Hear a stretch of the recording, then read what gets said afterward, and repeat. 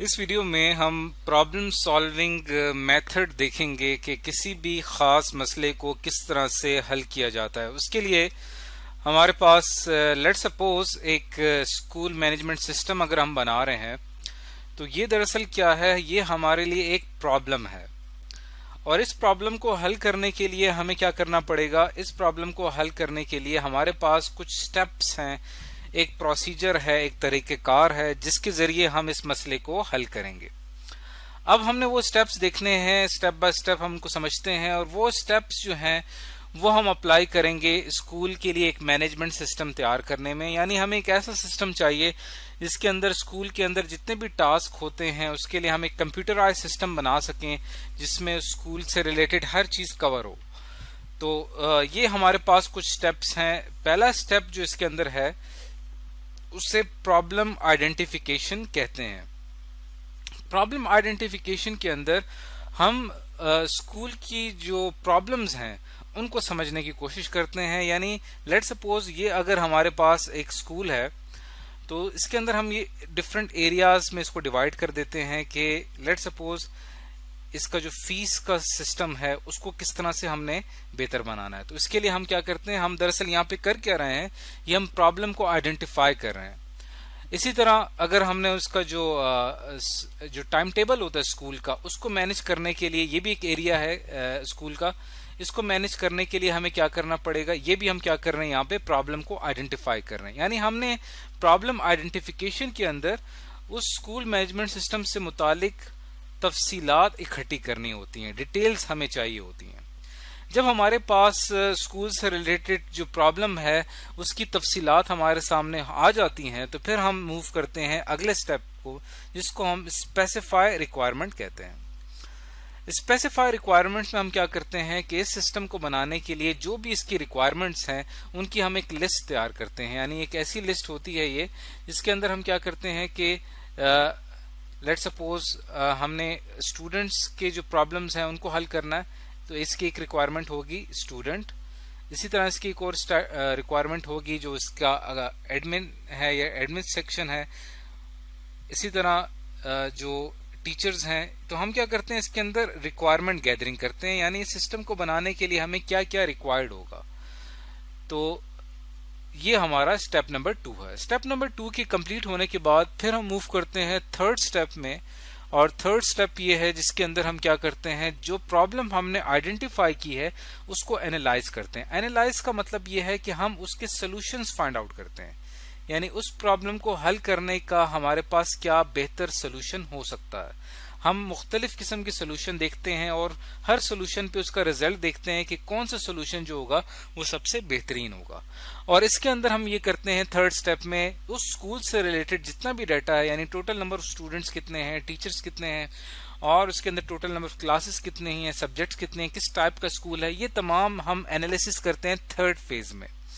तो पहले जो थर्ड इसके स्टेप्स हैं, इसके अंदर इसका फ़ायदा हमें ये होता है कि प्रॉब्लम हमें समझ में आ जाती है और उस प्रॉब्लम का जो सोल्यूशन है वो हमारे सामने आ जाता है। अब ये बात आ जाती है कि अब हमने उस सोल्यूशन को इम्प्लीमेंट कैसे करना है उसको हमने लॉन्च कैसे करना है।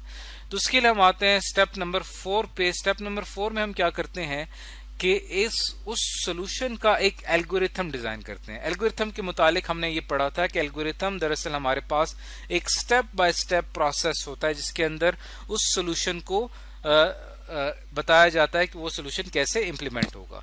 एल्गोरिथम बनाते हैं और इसके अलावा हम उस एल्गोरिथम को कन्वर्ट करते हैं फ्लो चार्ट में। फ्लो चार्ट जो होता है, वो दरअसल उस एल्गोरिथम की ग्राफिकल रिप्रेजेंटेशन होती है। मिसाल के तौर पे जैसे कि आप यहाँ पे इस डायग्राम में अगर आप देखें तो यहाँ पे उस स्कूल का एक फ्लो चार्ट दिखाया गया है, जिसके अंदर आप देखें कि जितनी भी उसकी वर्किंग है स्कूल मैनेजमेंट सिस्टम की, उसको एक डायग्राम के ज़रिए शो किया गया इसके अंदर स्कूल में जितने भी सेक्शंस हैं एडमिन का स्टाफ का स्टूडेंट का, उसमें जो एडमिशन प्रोसेस होता है, इसी तरह लॉग इन प्रोसेस जो है, वो तमाम एक्टिविटीज़ को एरोज के ज़रिए शो किया गया है। यानी इस डिज़ाइन से हमें ये बात समझ में आ जाती है कि हमारा सिस्टम जो हमने इसका सोल्यूशन तैयार किया है, वो दरअसल काम कैसे करेगा। फोर्थ स्टेप के बाद फिर हम क्या करते हैं कि फिफ्थ स्टेप में आते हैं। फिफ्थ स्टेप जिसको हम राइट प्रोग्राम, यानी अब हमने क्या करना है कि इस प्रोग्राम, इस फ्लो चार्ट को जब हम, जो हम फ्लो चार्ट बना चुके हैं, अब हमने इसकी कोडिंग करनी है, यानी हमने इसका कोड लिखना है। उसके लिए हम क्या करते हैं कि एक उसके लिए कंप्यूटर प्रोग्राम बनाते हैं। उसके लिए हमें ज़रूरत पड़ती है प्रोग्रामिंग लैंग्वेज की टूल्स की, और हमें ज़रूरत पड़ती है एक टीम की जो कि उस प्रोजेक्ट के ऊपर काम कर सके। तो यहाँ पे हम किसी भी programming language like C C plus plus इसका इस्तेमाल करते हुए इसके जितने भी कंपोनेंट्स हैं इस स्कूल मैनेजमेंट सिस्टम के उसके लिए हम क्या करते हैं कि एक कंप्यूटर प्रोग्राम बनाते हैं, जिसके अंदर तमाम जो वर्किंग होती है, उसके अंदर प्रोग्रामिंग इस्तेमाल होती है। यानी यहाँ पे इस फिफ्थ फ़ेज़ में आके हम सक्सेसफुल हो जाते हैं एक सॉफ्टवेयर बनाने में। यानी हम एक, फाइनली हम एक ऐसा सॉफ्टवेयर तैयार कर लेते हैं, जो कि हमारे इस सिस्टम को ऑपरेट करेगा और इस सिस्टम को चलाएगा। जब हमारे पास एक सॉफ्टवेयर तैयार हो जाता है, इस फिफ्थ स्टेप के बाद तब बहुत ज़रूरी होता है सिक्स स्टेप जिसके अंदर हम क्या करते हैं, अपने सॉफ्टवेयर की टेस्टिंग करते हैं। यानी क्या हमारा सॉफ्टवेयर जो है, जो हमने रिक्वायरमेंट्स डिफाइन की थी, उनके मुताबिक अमल कर रहा है या वो उनके मुताबिक अमल नहीं कर रहा। इसको हम टेस्टिंग कहते हैं या हम उसको डीबग कहते हैं। डीबग का मतलब बग का मतलब होता है एरर यानी कोई गलती।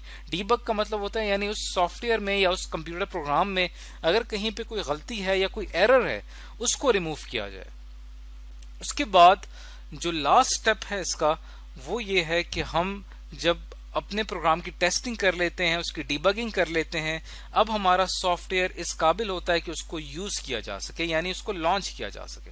फिर हम क्या करते हैं अपने सिस्टम में उस सॉफ्टवेयर को इस्तेमाल करना शुरू कर देते हैं। लेकिन उस सॉफ्टवेयर को इस्तेमाल करने के लिए उस, उसको मेंटेन करना हमारे लिए बहुत ज़रूरी है।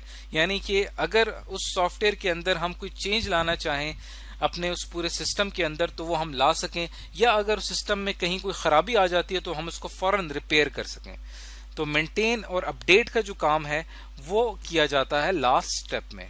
तो इस तरह से आपने देखा कि जब हमारे सामने कोई प्रॉब्लम आता है तो हम उसको किस तरीके से उसके लिए एक सिस्टम डिज़ाइन करते हैं, एक सिस्टम बनाते हैं और एक किसी भी मसले को हल करने का जो हमारा मेथड है, उसके बुनियादी तौर पे क्या स्टेप्स होते हैं। तो आज की इस वीडियो में हमने सीखा कि प्रॉब्लम सॉल्विंग मेथड किसे कहा जाता है।